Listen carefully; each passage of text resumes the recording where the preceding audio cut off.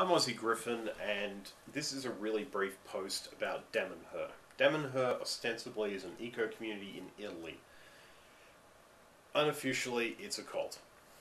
If you go to, I'll throw in two links here in the description box down below.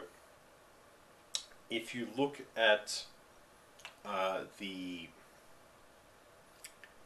if you go to Damanhur's webpage,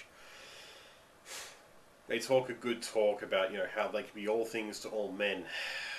And if you go to the page Damanhur Inside Out, you'll hear from people who have left the community that they're basically a cult. Uh, actually, basically nothing are a cult. And, you know, it, it, it, it scares me because every time you look at these communities, they always play to what people want.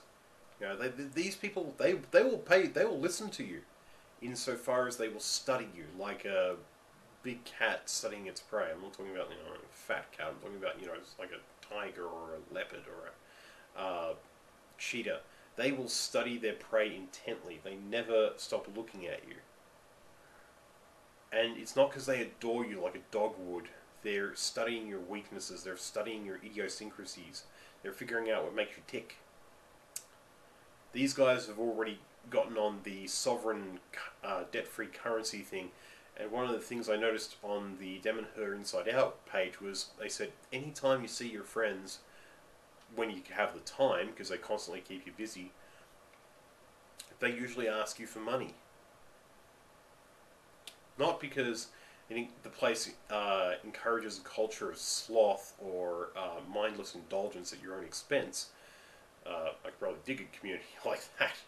However, it's just rigging the economy of the community so that you may as well be, so you have to make communal resource decisions and basically become communists.